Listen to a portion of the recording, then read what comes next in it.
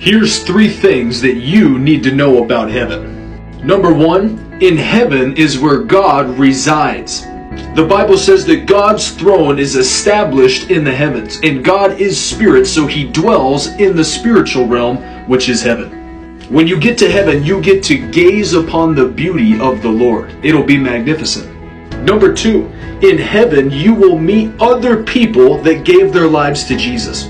That means when you get to heaven, you're going to have family members there. You're going to have neighbors there. You're going to have people you never met before, but they trusted in Jesus, so they'll be in heaven.